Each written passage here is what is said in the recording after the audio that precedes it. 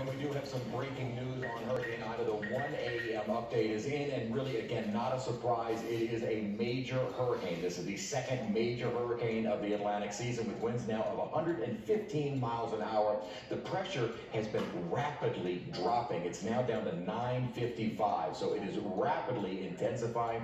Based on satellite imagery, it is just an impressive looking storm with those thunderstorm cloud tops that are the more intense into the upper parts of the atmosphere, now completely surrounding the center of the storm. This is an intense storm. This is not a surprise. This is what we were expecting. It will then ramp up to a four as we get into the maybe before sunrise. So we've got the uh, four o'clock advisory that'll come in, and then the seven o'clock advisory, and then seven o'clock advisory, it's expected to be a four. Would not be a surprise that even as of the one o'clock advisory, we see that this is already uh, a, a four. But I do want to go and show what the center line still looks like with the storm itself. It is following now basically right along where the Hurricane Center is saying. It's actually had been trending a little bit more west of that center line as of uh, a couple hours ago. So it is trending and following basically what the official forecast is from the National Hurricane Center. But earlier, it was actually trending a little bit more to the west. Will that matter in the forecast?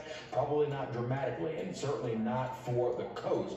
Maybe more for the city, as again, we are right on that cusp of either seeing hurricane force or tropical storm force. At the moment, just based on the trajectory of the storm, it does look like we would see the hurricane force winds here in the city of New Orleans. And again, the intensity of the storm continues to build as it has been undergoing that rapid intensification. So I wanted to be able to zoom in here on the forecasted track. Again, 7 a.m. tomorrow morning, not too far, almost due south of the mouth of the river. So in the next six hours, we should see the center of the storm due south of the mouth of the river. And again, that would take that strong wind field right near and across parts of lower Plaquemines Parish. That would continue across lower Jefferson, so then Grand Isle. Then you're talking Lafourche and Port Fourchon, and then Cocodrie as you get into southern Terrebonne Parish, then continuing up in a direction, taking it over the river parishes, and then the center of which over Baton Rouge. But as we have said, this is certainly taking the center of the storm much, much closer to the city of New Orleans,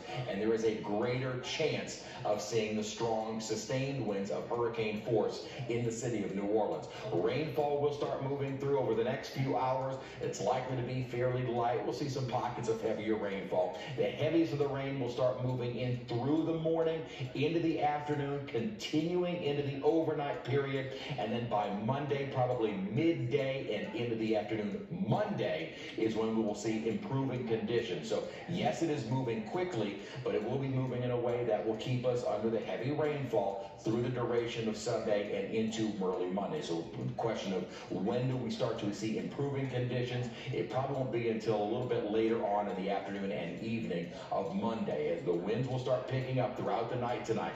And as far as those hurricane force winds, looking more and more likely that they will spread across the city. Now the big question then comes in, how large is this wind field and how large is the eye wall as it does push on shore?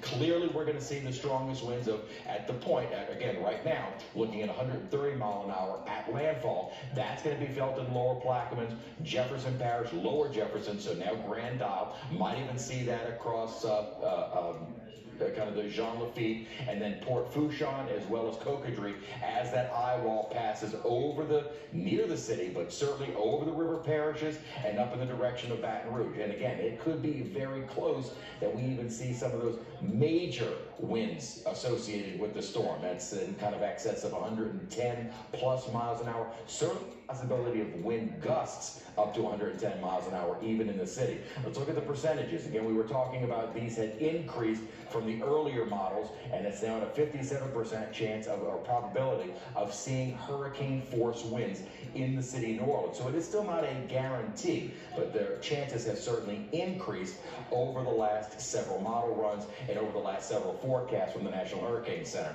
Winds have been increasing, and now we're looking at winds sustained at the mouth of the river at her, uh, excuse me, at Tropical Storm Force. So you've got 45 mile an hour winds at Main Pass, right around Southwest Pass, gusting up to 52 miles an hour. And just to the east of that, winds sustained of 46 miles an hour, gusting up to 55. So the tropical storm force winds have now reached southeast Louisiana. So down along the mouth of the river, we are looking at tropical storm force winds. And again, because of the fast motion of this storm, we should see this uh, moving inland very quickly as with regards to the winds and the highest rainfall. The tornado risk is still going to be there as we continue throughout the day today and even into Monday. That risk will still be there, although the risk, this really is for the, uh, since we've now changed days, this risk is now looking at Monday, which is going to be a little bit greater as you move off to our uh, east. So even folks that uh, retreated off to the east to evacuate, such as my family,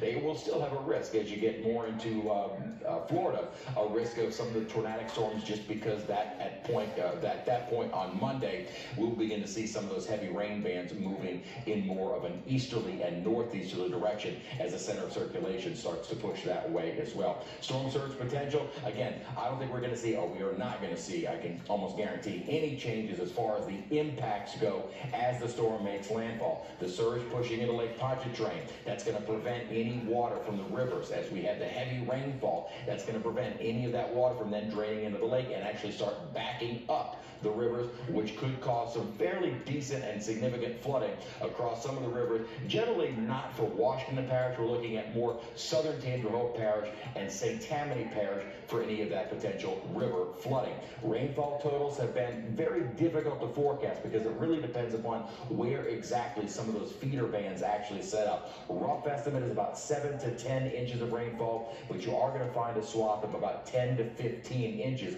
especially right near and just the east of the center of the circulation of the storm. With the water temperatures plenty warm to continue that strengthening, and that is one of the big reasons why we've seen that rapid intensification really all day Saturday and now continuing into early Sunday. So the tropical uh, storm impacts really we could say they have begun as we're already starting to see that near the mouth of the river with sustained tropical storm force winds. No dramatic changes are expected in the forecast. There may be a little jog one way or another, but to see any dramatic changes, that's just not going to happen. So the landfall is a major hurricane expected a little bit later on this morning. Matter of fact, in about 12 hours exactly from now, the damage unfortunately is going to be extensive and widespread, really across a good portion of our viewing area. I don't really think there's going to be any area that goes completely unscathed. Obviously, the damage is going to be far greater as you get closer to where the storm initially makes landfall and then where the center of that circulation with the strongest winds starts to cut a path uh, kind of from the river or from the uh, bayou parishes up toward the river parishes, and that could include parts of the metro area and then up toward Baton Rouge. All right, so we're now looking at a Category 3 storm. You said those winds at 115 miles per hour. Chris, this thing seems to be progressing as you guys are forecasting. This is no surprise, right? It's not. It's it's one of those eye-opening when you see that now the winds are at 115. You've seen how far that the pressure has dropped. But again, this was all expected. We were anticipating that it would become a major hurricane by some point early this morning. And again, would not be surprised because of the, the rate at which the pressure has been dropping it wouldn't be a big surprise to see this already jump up to maybe a four at the four o'clock advisory. At the moment, the forecast is calling for it to become a four at the 7 a.m. advisory. So either in the next three hours or six hours, it'll be a category four storm. And we're expecting a category four storm to make landfall in about 12 hours from now. And our people on the coast are already seeing impacts right now, you, you would imagine? Yeah, well, the, the impacts, at least in terms of the tropical storm force, we were just looking at some of the buoys right at the mouth of the river, and they are looking at winds sustained over tropical storm force. So the tropical storm force winds have now made their way into southeast Louisiana. They had been generally staying offshore, but they have now made their way onshore. And you can even see in the last few images here of radar, we're starting to get some of those little feeder bands, not as heavy on the more northern end of the storm, but certainly some of those more tropical feeder bands beginning to move across the mouth of the river. And what we've been watching here, of course, throughout the storm is people trying to evacuate. We need to get an update on our traffic cameras, but the last look that we took were people stuck at the Louisiana Texas line, just stuck on the interstate. Is that area going to see impacts from the storm, or are those people in a safe zone?